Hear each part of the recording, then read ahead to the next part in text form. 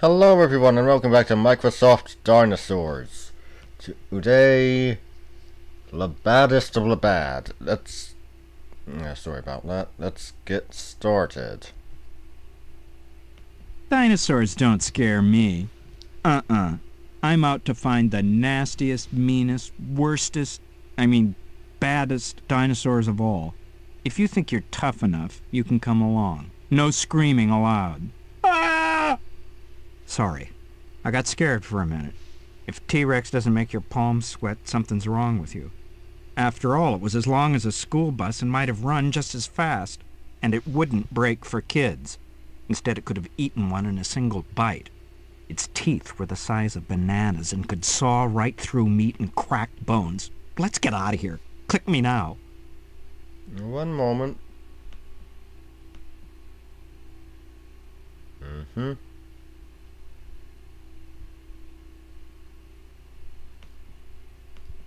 Yikes! Deinonychus means killer claw, and that's no can opener on its toes. This dinosaur could kick higher than a Las Vegas dancer and slash its prey faster than you can scratch a lottery ticket. And here's worse news. It may have hunted in packs. Don't get near this dinosaur unless you're carrying a big nail clipper. Coelophysis was not much taller than an average sixth grader and pretty lightweight for a dino. So what's so scary about it? Its brains. This was one of the smartest dinosaurs, smarter than any of our ancestors from dinosaur days. It was fast, its hands were nimble, and it had a mouthful of sharp teeth. Don't mess with Coelophysis. T-Rex was the biggest killer dinosaur, right? Not necessarily. Spinosaurus could have been bigger, and just as nasty. The sail on its back may have helped to keep it cool, but it probably got all steamed up anyway whenever it saw a nice piece of meat, dead or alive. Allosaurus lived among the biggest dinosaurs of all, giant browsers like Brachiosaurus. It might have eaten them, so it could certainly have handled you. Allosaurus may have grown as big as T-Rex, nearly 40 feet long, and Allosaurus had longer, more powerful arms than its carnosaur cousin. That's all bad news for anything passing through its neighborhood. Even in the early days of dinosaurs, there were nasty characters, like Herrerasaurus. It had sharp teeth and a double-hinged jaw that could bite off huge chunks of meat. Don't ever invite Herrerasaurus to dinner. It can't tell the guests from the food. All right, this isn't a dinosaur. In fact, Deinosuchus probably ate dinosaurs.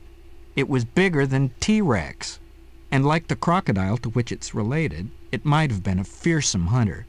Today, crocodiles eat more people than any other animal does. If it were alive now, Deinosuchus might be a good reason not to spend time at the beach. No, Brachiosaurus wouldn't have eaten you. But it's one more dinosaur to be careful around. Big sauropods like Brachiosaurus probably weighed more than 50 tons. You wouldn't want to stand close when they walked by, or when they went to the bathroom. Ugh, gag me with a fossil. Here's a whole cast of villains who'd belong in prison today. Any of them would have gladly munched you for an hors d'oeuvre and still had room for dinner. But remember, even the fiercest animals miss their targets most of the time, so you might have escaped the killer dinosaurs. Besides, nearly all meat eaters get most of their protein from animals that are already dead. When's the last time you saw somebody eating a live cow?